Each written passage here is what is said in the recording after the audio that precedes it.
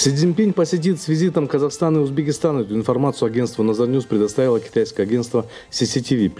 Председатель КНР Си Цзиньпинь с 14 по 16 сентября этого года примет участие в 22-м заседании Совета глав государств, членов Шанхайской организации сотрудничества, которое состоится в Самарканде, и посетит государственными визитами Казахстан и Узбекистан по приглашению президента Республики Казахстан Касым Джомар Токаева и президента Республики Узбекистан Шавката Мирзиёева, соответственно.